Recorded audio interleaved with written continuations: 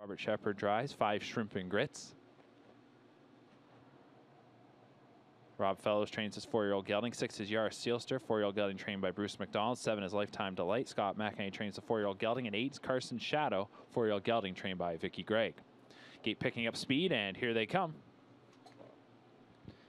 And the raw fan pacing shrimp and grits from the center is hustling out of there. Going away the quickest, likely though, is Fixed Idea. And then it's Tyga Hanover to the inside. From the center of the gate, and now crossing over in front of several rivals, that is Yars Sealster. Yars Sealster moves into fourth in front of Kunis, who is then followed by Siddhartha, with the final two as they go into the turn being Lifetime Delight and Carson Shadow. Fixed Idea. Got a little Awkward there going to the opening quarter, ends up a little wide, 29 and 2, the opening split. Tyga Hanover holds a short lead as Fixed Idea looks to straighten things out. So Fixed Idea now finding some good strides as he is trying to get around Tyga Hanover.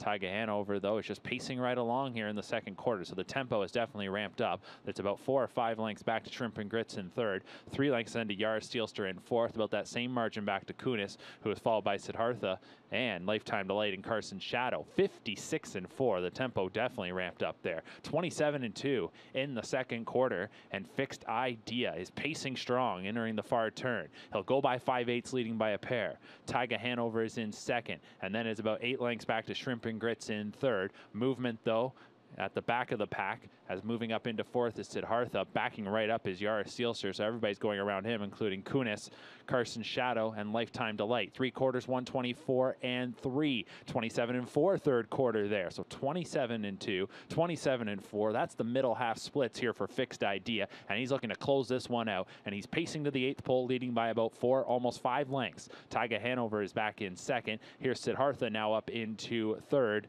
as they come to the edge of the tote board.